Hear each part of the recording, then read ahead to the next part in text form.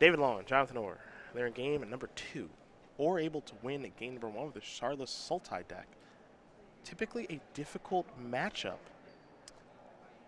for Charlotte Sultai. I, I like the amoeba approach to the lands. Just kind of a kind of a blob, Yeah. as it were. Yeah, his, his deck in the middle of the table and everything. Yeah. Not, not quite sure what's going on. Thanks for helping us out, guys. Yeah. so on Jonathan Orr's side, you might be wondering why there all those wolf tokens are out there. Well, well, it's Master of the Wild Hunt. We found the matchup for that one. I think. Uh, I didn't expect to see this be a thing. Uh, there's also a 5-6 Tarmogoyf, uh, a bunch of lands, including a Wasteland.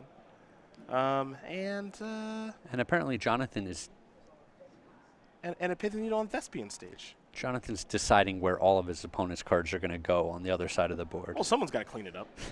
so, might as well be John.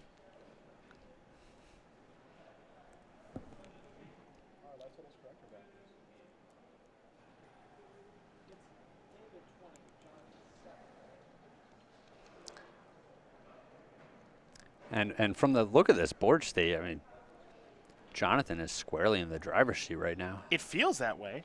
It looks a little weird. Oh, I get it. It's a Liliana ultimate.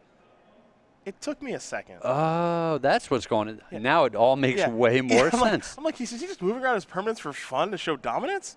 What is going on?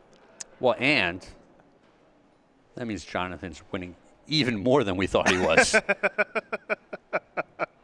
you know, he's got his, his insurance wasteland, he's got a pithing needle, and he's got a whole army of creatures on the board.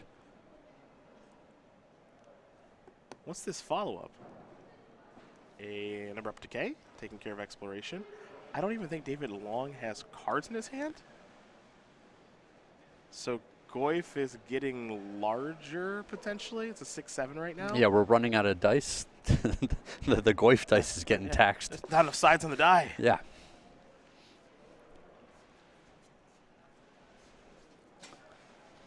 This is bizarre.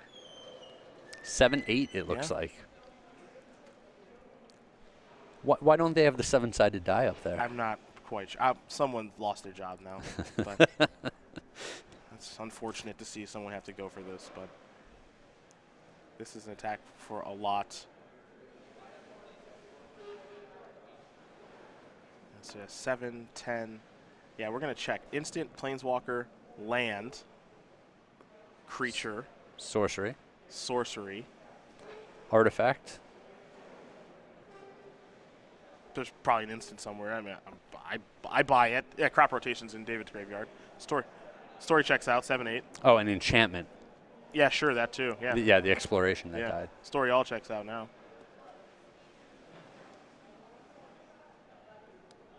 So yeah, it's an attack for 12. A little bit.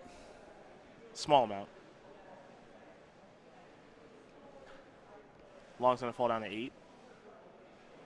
Yeah, we, we came into this one at just the right time, huh? Interesting timing, yeah. Yeah, I mean, we're, both going to lose out on the double lands prediction for the finals. I thought we were pretty close to a lock on that. yeah.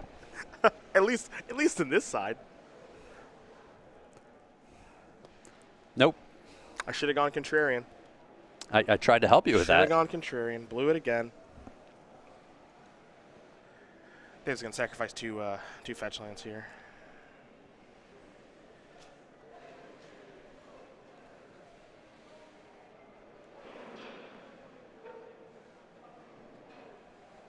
Now, it is my assumption that David Long has no cards in his hand, so I can't wait to see what he draws.